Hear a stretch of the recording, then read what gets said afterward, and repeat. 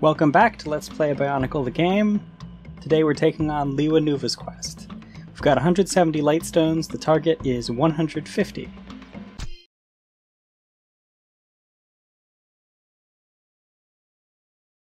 Deepwood.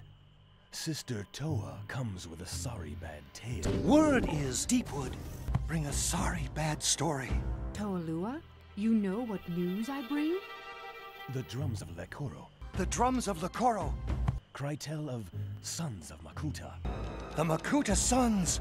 But without my Suva, I cannot reach the threat. Where are your Matoran to activate the Suva? Captured. Lost. You alone can find them, Lewa Nuva. Find them, free them, and use the Suva to hunt for these sons of Makuta. Heart promise, sister. Heart promise. Alright, I'm going to talk about that cutscene in a moment, but first, I'll just quickly talk about this uh, first portion of the level.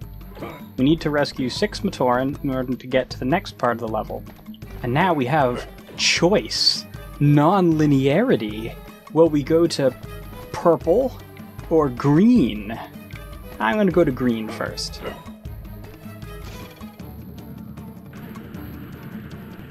The reason that I point out occasionally in this game that they are directly quoting Bionicle Mask of Light as if that's a bad thing or some artistic failing, when of course it makes sense that this thing, based on the story of Mask of Light, would quote it, is the fact that it's not emulating the scenes directly. It has these completely different scenes and is quoting them in an entirely different context, like some postmodern masterpiece. Or at least like a, a dumb video game. And so that's creates kind of a surreal experience. So I guess it is a postmodern masterpiece. You can speed up as the directions said, but you kind of don't want to. At least not most of the time.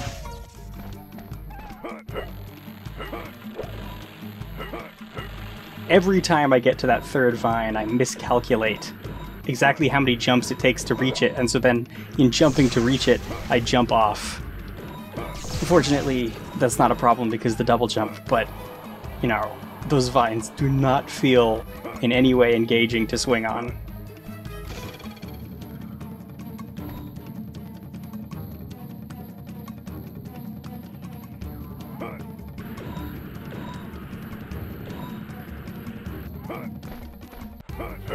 We are attempting to free or rescue six Matoran.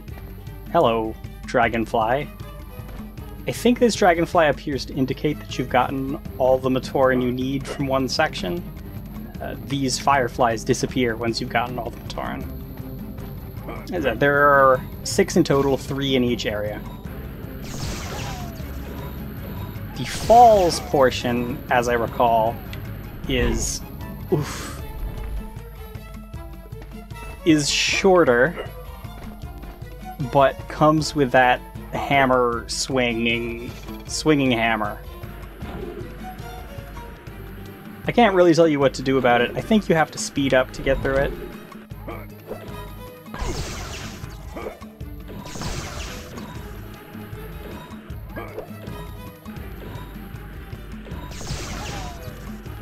Hope I don't die. That would be embarrassing.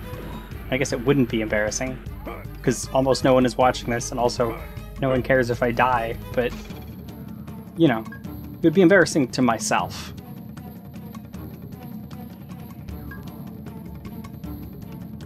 One thing I never pointed out in Tahu's level is that the Matoran you save there are Le Matoran for some reason, and not Ta Matoran. Guess it makes them easier to see. Yup, the dragonflies do show up when you've rescued all the Matoran in one section, because now there are two.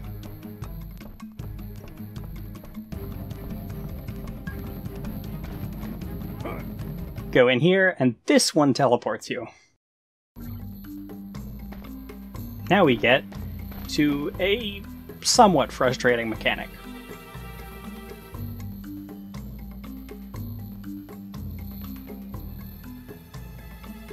Alright, so Lewa can glide because he's the Toa of Air.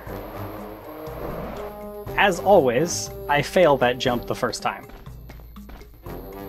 This is one of the more precise jumps you have to make with the glide, so yes, that's fine. The idea is simply that it might be your instinct as a pro gamer to sort of let your double jump, uh, you know, to fall for a little while, and then do your double jump. Or, excuse me, and then do your glide after you've double jumped. But that is not what you want to do in that case. You want to glide immediately after double jumping. With these tower platforms, the ones with dead yellow grass will crumble, while these ones with green grass will not. That is the same lizard from Onua's level. I just think those are the same bugs, too. And that's a pitfall.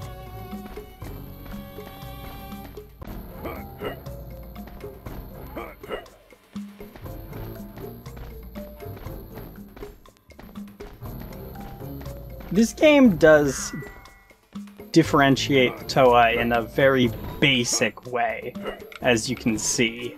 You know, with Lewa being able to glide, I don't know, Gali can swim, I guess that's a differentiation. But it doesn't do too much in that category, like making them fight differently at all. But you have to understand, it was 2003, and more importantly, Yep, I always fail that fall the first time. And more importantly, um, the people making this game were uh, not very good, and also making it very quickly. Alright, so as you can see in this level, the light stones are sort of supposed to be guiding you as to where you need to go next. Doesn't really work here because by the time the camera turns to face where you need to go next, the platform has already fallen.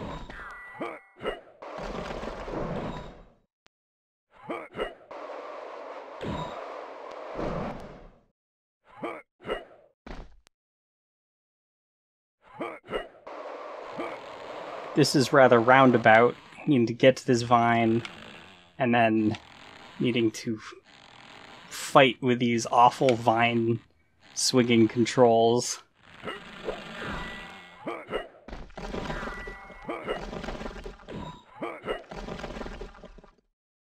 Whoa, why why is he falling? Not sure, but I didn't die, so I guess it's okay.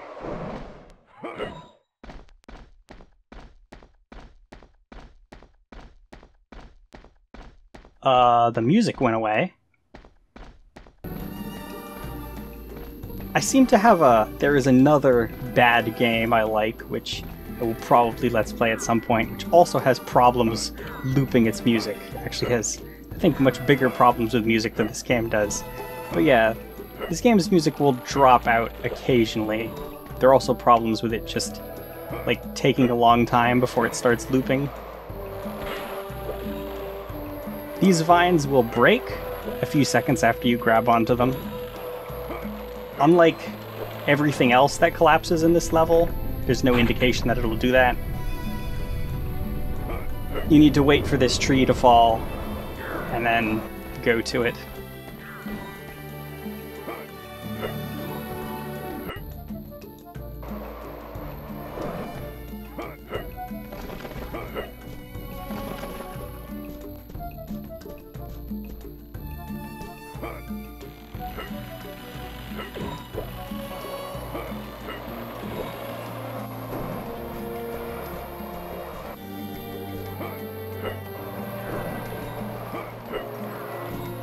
We've been playing this game for a long time.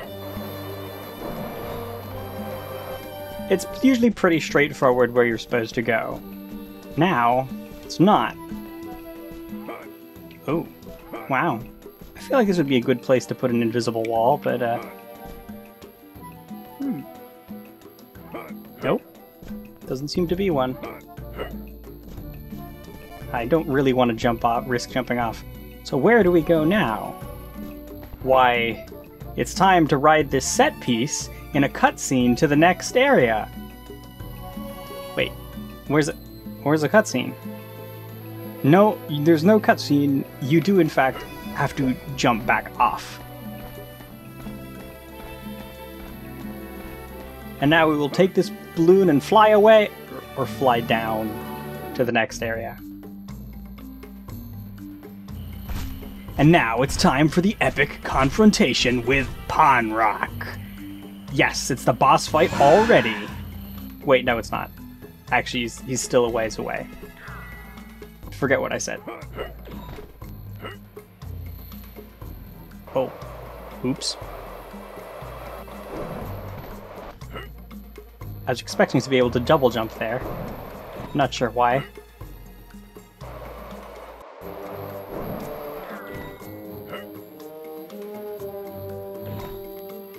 And now we have nowhere to go, but we do have these bubbles.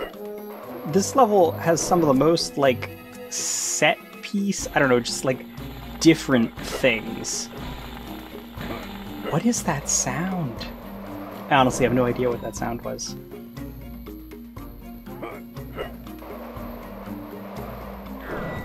Alright, what's coming up is another one of the most difficult parts of the game. Now, hopefully, I have not practiced so many times that that fact no longer comes across. So, in short, this bird will fly and we glide behind it. Now, if you're like me, you'll go and do it something like this. And. Ooh, hello. so, that was a great one two punch where I was expecting him to not fly at all. And then he did fly, but I was somehow out of alignment with him, and so I fell anyway. The point is, to get this guy to fly, you need to glide when you're very near him. So you're to do that, accomplish that most effectively, you want to jump from the back. And now, I don't know. Oh boy, I was gonna say how I'd gotten good at this.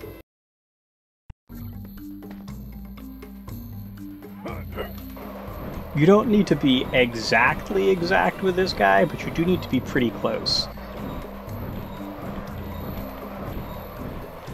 Which means it's going to take a lot of tries to figure out his route.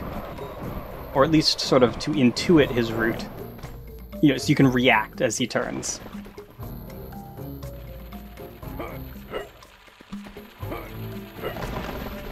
Alright, got more than 150 light stones. In this place, you need to glide across this gap. Feels like a platform's coming, but it's not.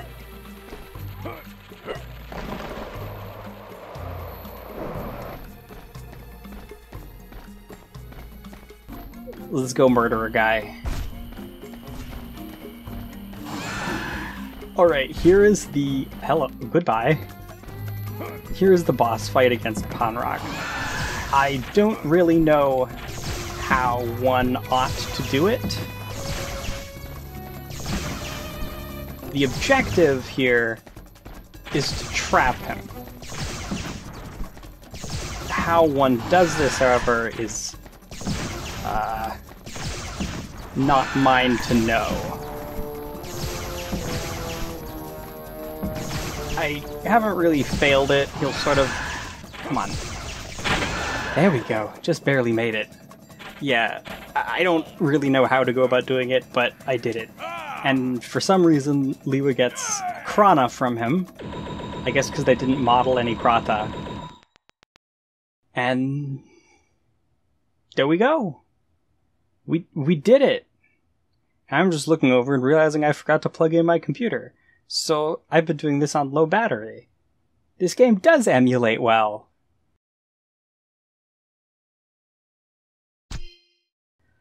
We've uh, done levels for all six Toa, so what's next? We'll find out next time. See you then.